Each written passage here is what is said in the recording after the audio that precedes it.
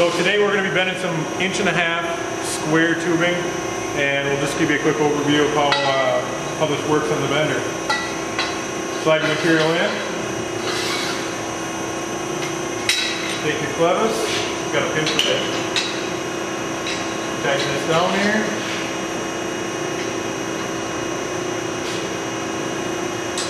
On square you want to make sure this gets good and tight so it doesn't slip at all on your material. Start bending, we'll get uh, the first bend, typically right around that 50 to 54 degree depending on your material you're working with. To get to that point, back off the pressure, loosen your pin up, go to your second position on the die.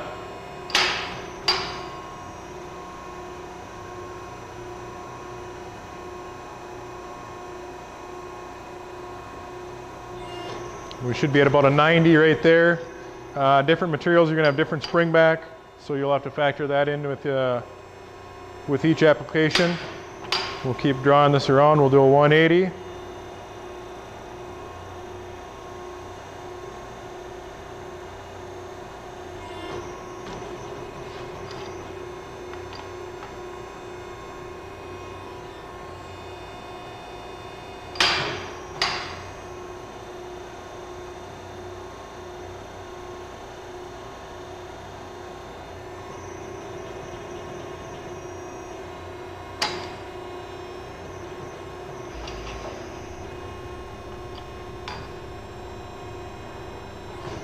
We'll be able to loosen this up here.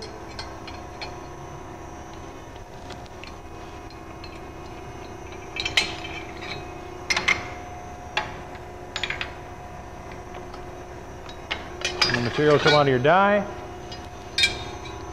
See a nice consistent crush on the inside. Doesn't blow your outside. Nice consistent on the outside also.